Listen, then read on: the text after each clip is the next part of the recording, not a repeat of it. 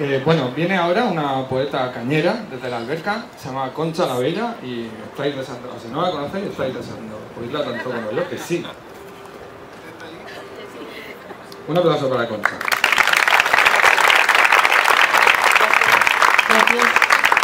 Bueno, yo soy una aprendiz de poeta, su- supongo que, que, bueno, voy a leer algo, que la verdad lo he terminado, os soy sincera, he terminado de escribir aquí, con la inspiración que me ha producido el evento, porque hay cosas que no. Se cerró el libro enorme de golpe. ¿No lo veis por el aire el polvo? Salen los antiguos caballeros, Don Quijote con su rocín, Quevedo, Góngora desesperado. Nos dejan, se van entre los tumultos y el tráfico. Ves a Murcia llena de fantasmas, se marchan llenas, se marchan.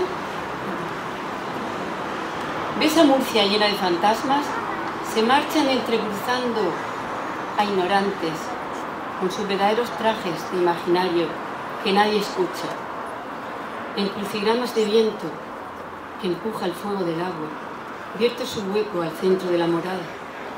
Danzan sobre tejas de madrugada, madejas de onda, sándalo, soñado. ¿Encontraste la página? ¿La página en blanco? Solo se abre un abismo, las letras sin soporte. No hay puertas que cierren el látigo insistente de la curiosidad. ¿Será esta la página? No te duermas, no te duermas.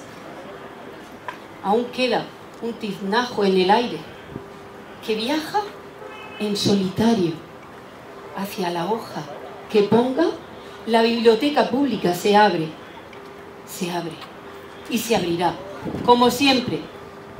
No porque quieran desde la polvorienta oficina, sino por los que aullan poemas desde la puerta medio a ciegas, saltan solas las lenguas. Abrid la biblioteca antes de marcharse. Este 1 de septiembre queda inaugurada la biblioteca, otra biblioteca diferente, la del público en la calle.